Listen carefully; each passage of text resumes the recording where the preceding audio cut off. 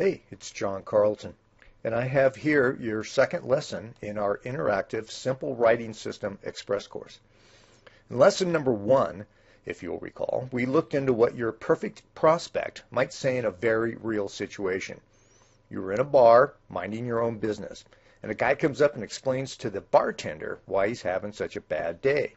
And what he says explains exactly the problem or need that what you offer fixes.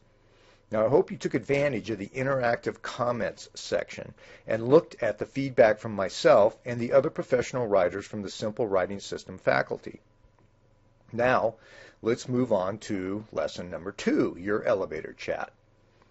We're still in the bar with Bob, the guy who walked up and stated his reason for being totally bummed out. You, of course, have perked up because he has just identified himself as a perfect prospect for what you offer. What you do next is critical. You must be able to handle this situation well. And I'll help you out here because most marketers, not just some, but most, screw it up. And they ruin the opportunity to sell to even their perfect prospect. Think about this for a moment. What you say now determines the, the success or failure of this interaction. If you cannot sell to a perfect prospect, someone who openly needs what you offer and who is right there next to you, then you sure as heck aren't going to be able to sell to someone else either, especially through an ad or a website or a video or anything less personal than this hypothetical face to face situation. Luckily, I've got a nice little shortcut for you here, which, which instantly connects you to your prospect in the best possible way. And it works like crazy, whether, whether you're standing next to him or communicating through that ad, video, website, or any other medium. Let me set this up for you. It's important to remember that this perfect prospect is a stranger. He doesn't know you, doesn't trust you, and he's not in the mood to be sold or pitched or even talked to nicely he's in some level of trauma because he has a problem or a need that is interfering with his life. He may be building a playhouse for his kids out back and can't complete it until he finds the right kind of nail. That's a minor problem, but it stopped him cold in his task. Or he may have serious health troubles that came on suddenly, and his entire life is on hold until he finds a solution. That's a major problem. Or it may be something in between those extremes.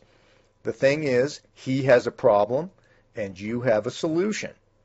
And now it's your job to help him become aware of this fact without scaring him off or making him suspicious or, if you really were in a bar, getting in a fight. So what do you do? You at most have a couple of seconds to get on his radar and deliver enough relevant information that will sneak past his natural tendency to ignore you or walk away or online to simply lower his finger to his mouse and click you out of his world. Okay, let's get down to it. In real life, you might excuse yourself by saying something like, Excuse me, but I couldn't help overhearing. In an ad or a video, you don't need to do that. However, the attitude you present here is the same. You must be very respectful of your prospect's time and, and especially respectful of his attention span. Again, because you have mere seconds. So here's the shortcut formula for getting right to the point. We call it your elevator chat. Why the elevator chat? Because you must be able to explain clearly and without hemming and hawing enough about who you are and what you do, positioned in a way that gets his attention and stirs his interest, in the time it takes an elevator to go from the ninth floor to the first floor, mere seconds. Most marketers can't clearly explain this in half an hour. They don't have a clear idea in their head about what they do and how to best present it to even their most perfect prospect. So here's the formula. We help this group of people do this benefit better, cheaper, faster, or easier, even if worst case believable scenario.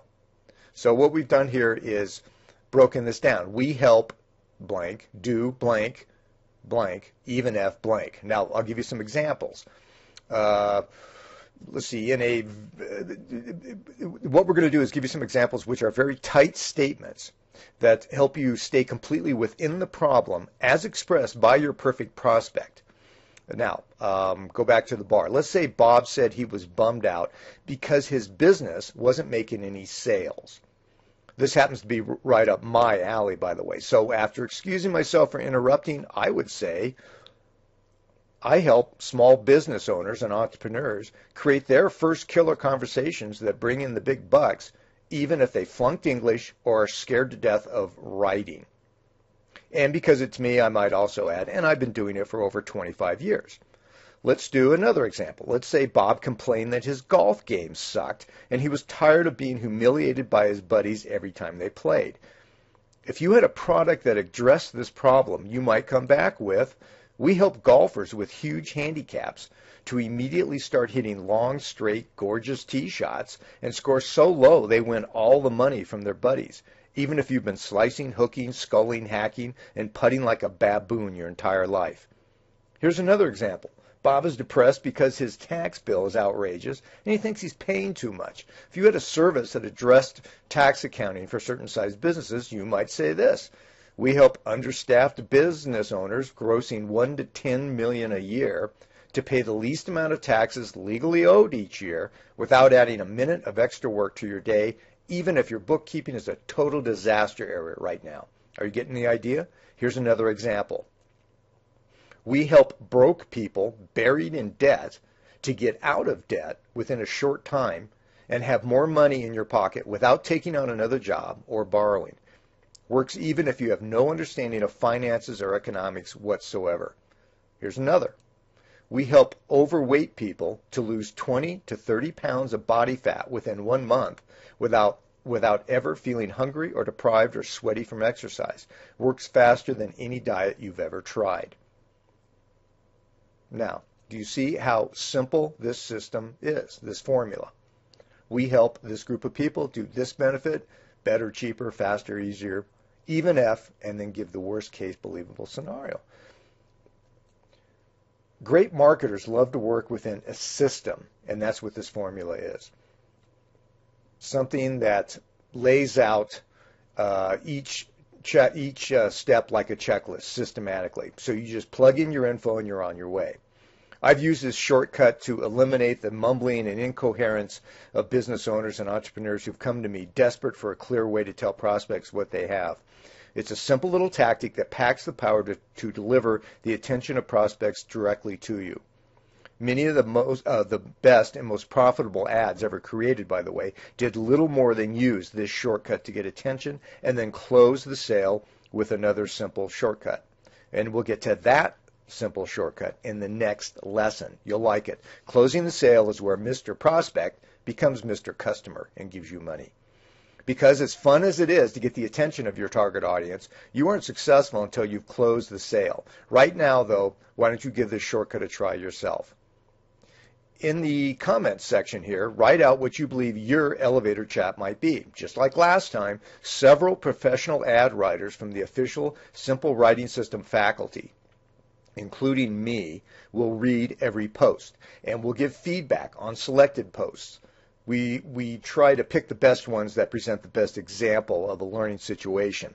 And we, so we can't do this for everyone, but we're committed to doing as much as we can. Get busy and post your response below in the comments. You've already seen how much high-level feedback we offer here.